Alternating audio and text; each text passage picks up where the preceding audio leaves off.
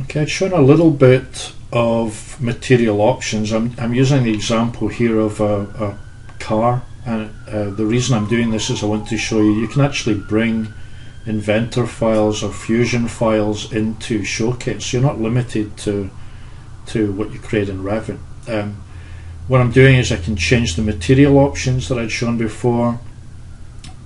I'll make the car a bit more noticeable. And then this is new is that the behaviors. If you see that I can create an action item where I, if when I execute on it I can open or close the doors.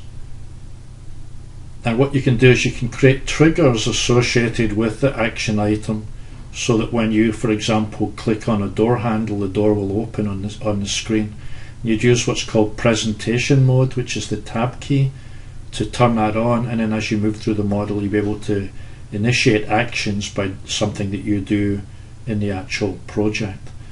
So I can I can quickly you know go through options showing people um, alternatives, and then uh, I'm going to turn that off.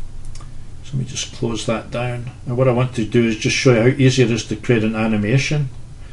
Um, these are ones that, I, that, are, that were existing in this sample file, and you see by clicking on it, it's like there are positions for the camera that are saved, and you can move around the model by just clicking on those. You can then combine them into what are called slideshows. So if I just uh, if I hit on the option that says uh,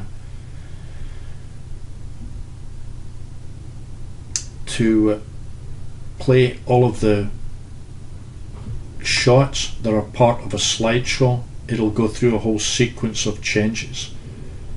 Uh, I'll go back up to the slideshow in a minute and just expand it so you can see the individual animations that were combined to make the actual slideshow. So you see what it's doing is going through all of those combined changes to run through and show me the completed movie.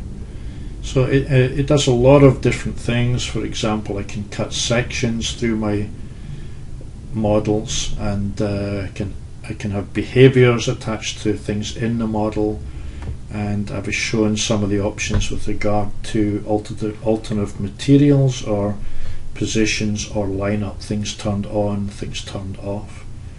Um, think of this as being where you want to quickly create a live presentation and you can interact with with the content. You can export uh, to create movies, um, but its strength really lies in a, in a live presentation. Um, although having said that, you can you can right click and save an image, so there's actually no rendering time if you want to create that.